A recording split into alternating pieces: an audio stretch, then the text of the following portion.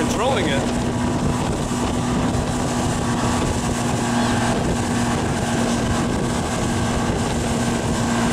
Swing him out, Garth. What? Swing him out.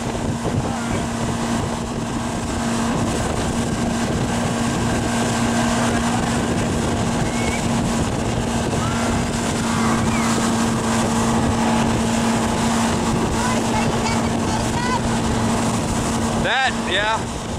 And a video. I want to see him fall.